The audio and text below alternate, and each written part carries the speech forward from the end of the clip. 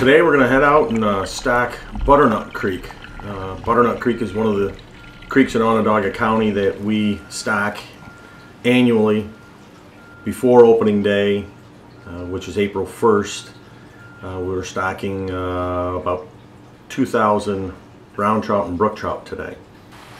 We'll probably get back to uh, Butternut Creek two or three times throughout the season, as well as Limestone Creek, Nine Mile Creek, and all the other creeks and streams that we cover in Onondaga County. Uh, we start stocking, uh, this year we started the 18th of March.